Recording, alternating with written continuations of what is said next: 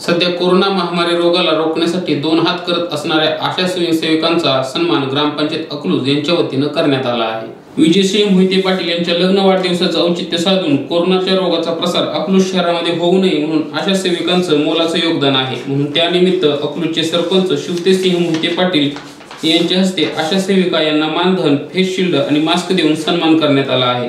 यावेळी ग्रामसेवक तलाठी व इतर पदाधिकारी उपस्थित होते. bureau report Star Maharashtra news Akluj